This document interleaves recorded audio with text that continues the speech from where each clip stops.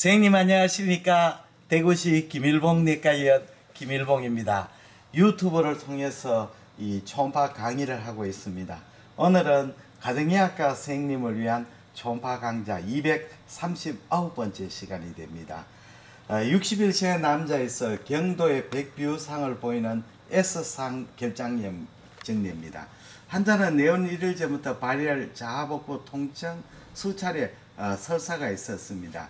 내원 시에 좌하복부 경도 압통이 있었습니다. 초음파 영상을 보시겠습니다. 자, 초음파 영상에 보시면 여기 좌하복부 횡단상입니다. 이 sigmoid colon입니다.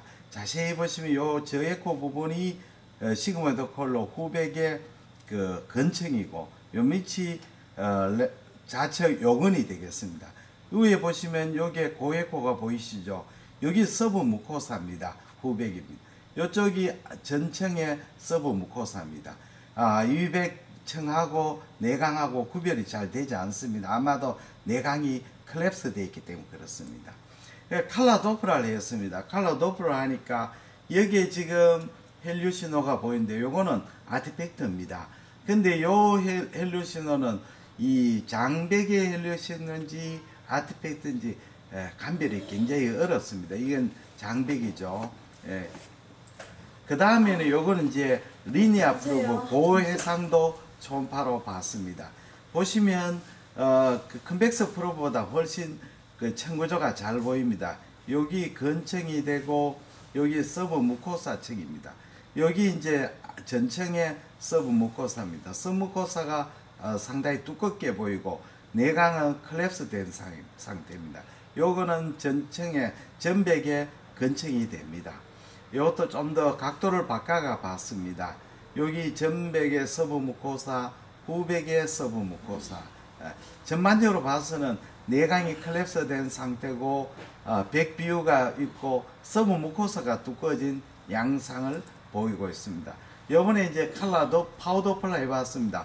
power Doppler에서는 혈류 신호가 잘 보이지 않고 있습니다. 그래서 이 환자는 colitis지만도 그 염증이 이제 viral infection에 이런 것이 bacterial infection이나 invasive하는 층을 invasive하는 염증은 아니라고 생각됩니다. 여기에 보이는 고에코는 내강에 있는 가스라든지 내용물에 의한 아, 고에코로 생각됩니다.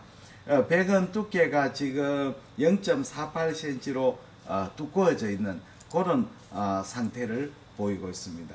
그러면 다시 한번 어, 복습을 한, 음, 해보겠습니다. 자, 첫 번째 영상이죠. 여기 어, 우어, 좌복부 횡단사입니다. 요 밑이 좌측 요근이고 지금 보이는 게 S상 상 결장 벽 비후를 어, 나타내고 있는 사진입니다. 요거는 이제 칼, power Doppler죠.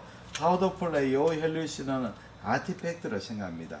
요거는 벽의 혈류 신호라보다는 형태로 봐서는 오히려 artifact일 가능성이 많습니다. 왜냐하면 요거는 벽의 혈류 신혼지 모르지만 요게 보이는 내강의 그 혈류 신호는 그 안에 있는 장강 가스에 의한 artifact일 가능성이 많습니다.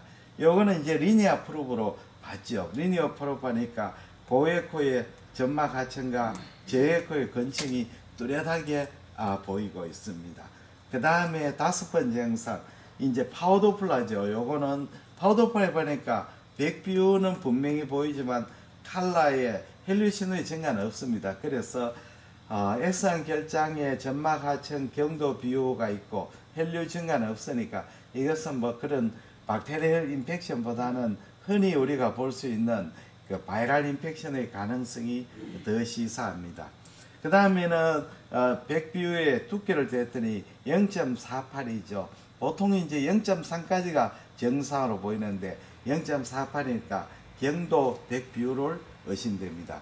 그래서 본 증례에 우리가 초음파의 이의는 사실은 우리 임상에서 이 설사하고 좌하복부 통증으로만 뭐 임상적으로 S상 결장염을 가장 의심하게 됩니다. 그러나 초음파로 검사하면 이것이 diverticulitis인지 혹시 S상 결장 암 같은 중대한 병을 rule out 할 수 있습니다.